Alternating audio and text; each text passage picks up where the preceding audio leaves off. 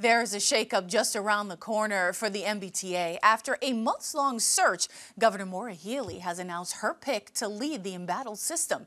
Phillip Eng is the former president of New York's Long Island Railroad and interim president of New York City Transit. The longtime transit official will officially take over as general manager on April 11th when he hopes to establish, quote, a new way of doing business. It's clear that the MBTA service is not at the level that it needs to be, and it hasn't been that way for far too long. The status quo is not acceptable. Eng will take over the T at a particularly troubled time for the system, with slowdowns still in place along more than a quarter of the subway system, on top of existing service cuts over personnel and equipment shortages.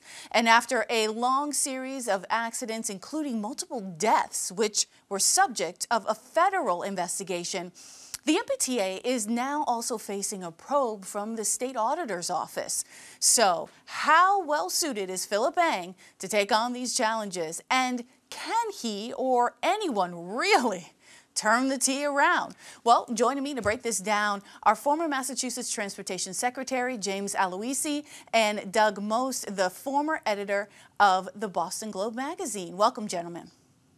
Thanks for having Thanks for us. And I also have to mention, Doug, that you are the author of the 2014 book, The Race Underground Boston, New York and the Incredible Rivalry That Built America's First Subway System. I reviewed Thanks. that book for publication. It's a great book. You did. Thanks, Jim. I appreciate it. I still remember that. so I want to I want to start with you, Jim. I mean, what do you think about walking in to the T as hmm. someone who managed, uh, you know, the, the Long Island transit system? Well, I saw the press conference today. I, I don't know Phil Eng um, except for what I read about him, and I thought today's press conference um, was a good first step. I thought he handled the questions well, and he his remarks were very much on point. I think the question for for him will quickly be what many of us in the transit advocacy community have been saying loud and clear over the past several weeks, if not months. Uh, and that is not one person is not going to make the kind of difference that many people may magically expect. And what's needed at the T, uh, more than anything else, in my judgment, is a culture turnaround, but also the resources and the tools so that Phil Eng and his team can actually do the job. Those resources include more money, especially on the operating budget side of the house. Uh, and, and, those resources include for him, I hope, a new board that the governor will appoint that will be active and experienced and uh, supportive of his efforts. Well, here's the other question too, Doug, is what do you think in your research and experience, right, um, the differences of these transit systems are, and then what are the difference in the differences and how do you manage them? I mean, the MBTA, the oldest, if not one of the oldest subway transportation systems in the country. Um, you have, you know, the above trolley system, you have the, the underground subway, you also have the buses and, and the extensions of that, and then the Long Island transit system, not as complicated. Yeah, I mean, I think to try to compare uh, Boston's T with the, the LIRR is uh, almost like a, a false comparison. It doesn't work. They're just two completely different beasts. Um, so I don't think, and I think, and I think Eng probably knows that he's not going to try to come in and and and do things here that would work on the Long Island system because I think they're just two different systems. But having said that, I think there are a couple things that he's going to encounter here that he's probably familiar with. First of all, both cities have a, a long history with dealing with the challenges of politics and finances and money to try to get transit projects done. It is one of the biggest hurdles that I think big cities face is we talk a big game and we say that we want to improve transit, but then when it comes right down to it, getting the money approved, real money, we're talking big money to, to sort of do uh, transformational change is is hard. Um, I think Boston over the years has probably gone through several boxes of band-aids trying to fix its system.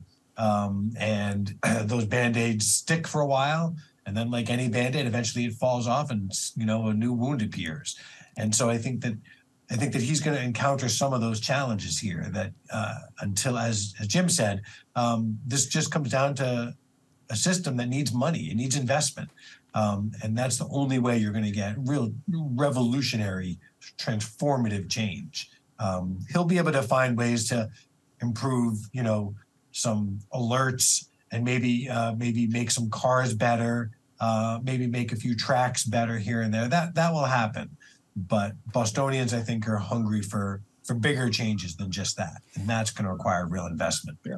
And as you mentioned money, you know, that's a hard pill to swallow for a lot of taxpayers because it seems like the T has had tens of millions of dollars poured into it, and we are still seeing deaths, we're seeing service delays, we're seeing uh, service interruptions, we're seeing shortages on every on, on every level. I mean, Jim, how how can we ask folks to pay more money, to have more money poured into this, so that it seems like, you know, Phillip Eng is going to be successful at his job?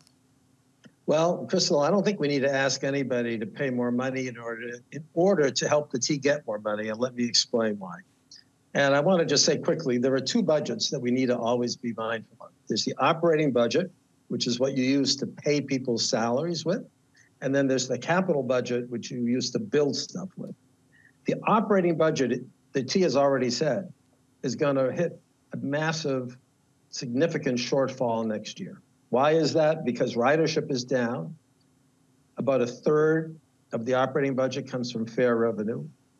We've got ridership at really anemic level in Boston for a lot of reasons after the pandemic, but also because people have some people have stopped using it because the service is so lousy.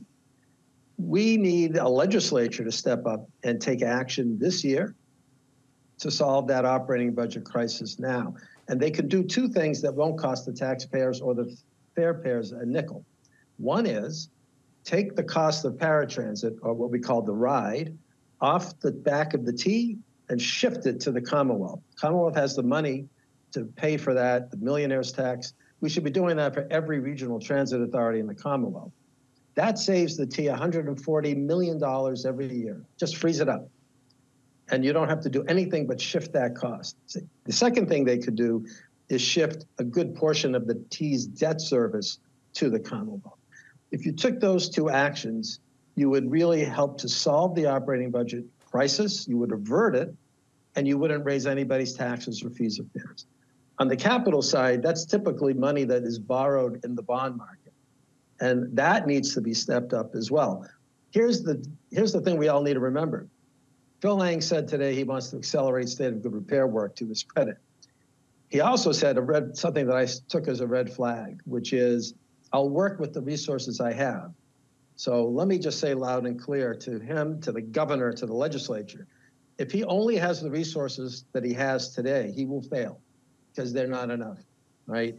He needs the resources in a revised collective bargaining agreement and from the legislature, real net new revenue on the operating and capital in order to hire the professional resources who can then do the project management, do the construction management, and get the work out fast. Those are the harsh realities. I think he knows that. I'm sure he knows that he's a professional. I think what we need to do is to focus on what needs to be done in a candid way. And we need to ask the governor and the legislature to take action because Phil Eng won't be able to do it on his own. He has no power to do that. What do you think about that, Doug? I mean, it sounds like he's just yeah. saying what folks probably want to hear from him. I'll work with the budget you give me, but it seems like it's not feasible at this point. So I think a couple of things that Jim said. Um, first of all, I'm glad, Jim, that you referenced um, a nickel, because a nickel is what the very first fare on Boston subway was back in 1897. Um, so just for people to sort of remember that. I think it's also important to remember um, this system, and this is something that's hard for Bostonians to hear. Um, they might not like it, but it's true. This system was essentially born broken when it was when it first opened.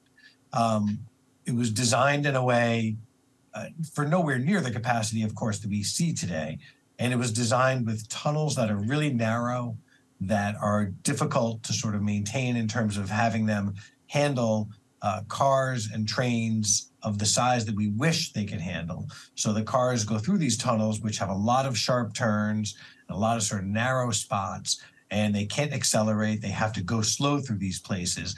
When you ride on other cities' subways, and I was just in DC recently and rode on the metro there, and certainly I've ridden on the New York subway uh, many, many times, having lived there.